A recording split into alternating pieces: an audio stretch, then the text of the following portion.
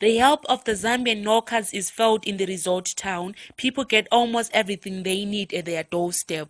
ya mina uncedo lwamazambia ndiyalibona silapha cause basafulela itransport kathesi ungakhangela nxa kukuthi ufuna ukuthenga something kumele ugade emarket but bona bayasinceda and futhi nxa befika lapha bayasikuredisa izinto either ula mali uyathenga kibo bayakunika ungela mali and then sizobhadala ngesinye isikhathi yes siphonga ukulanda nje emathawuni nokunye okunye lokunye but vele into eziningi hayi sesithenga kubomzanga because basavulela navele mbona kule advantage kakhulu ukuba kwawo khona la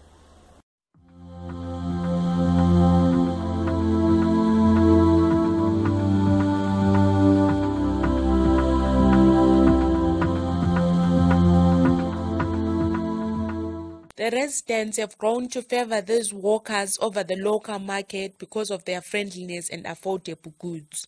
uchitengesa zvinhu zvavo zvakachipa madomasi anenge akachipa. Prais vanototiwinga mudzimba isusu hatiwawingi vanotofamba vachitouya vachitotitengesera kukwereta vanototikweretesa. Chero usina mari vakakukweretesa akazouya kuti mari kana usati waanayo vanongokuregerera woenda wozouya wotorawo kana waanayo vanhu vanotibatsira purazi hembe dzinobve ikoko. Ah, isu tinotodya tichibvuta isu. Vana muzanga vanhu vari raiti zvekuti ah, tinofarirana zvimwe zviya zvekuti haa tinotoita sekuti tine ukama kana kuti tiri wenyika imwe chete.